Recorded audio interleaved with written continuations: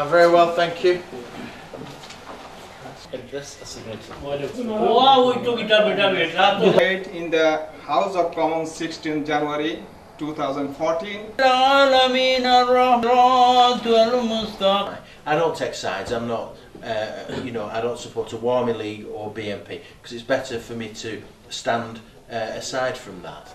and after that, we for feeling from the My personal view and most of our view is that we are great. Close সম্পর্ক আমার আরস ভাই এমপির সাথে তোরা এমন একমাত্র একজমাতে করে আর Between the members, the amount of information and the depth of knowledge is enormous.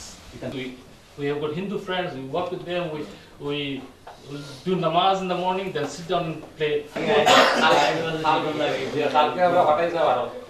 Very pleased to be at this meeting this morning and I'm pleased to learn more about the situation in Bangladesh. I've had a very full and honest briefing from uh, Bangladesh residents in Rochdale and they've made it quite clear what their concerns are about the situation there and I'm pleased to have heard that.